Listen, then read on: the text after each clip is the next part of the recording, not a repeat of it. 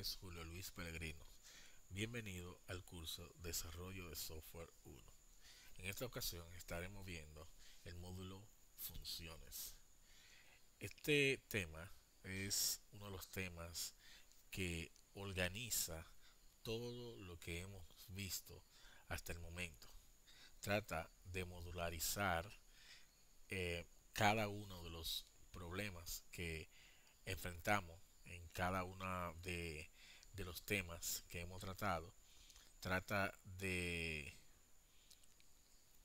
fraccionar eh, las informaciones para que cada una puedan tener una sola y única responsabilidad. Al finalizar este tema, el estudiante estará en la capacidad de aprender a modularizar su código, diferenciar entre una función y una subrutina y finalmente diseñar soluciones que utilicen funciones y subrutinas. Te esperamos.